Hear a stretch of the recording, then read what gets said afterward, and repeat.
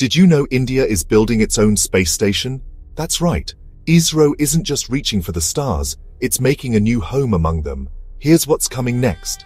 ISRO, the Indian Space Research Organization, has already wowed the world with moon missions, Mars missions, but now India's aiming even higher. By 2035, ISRO plans to launch its own space station called Bharatiya Antariksha Station.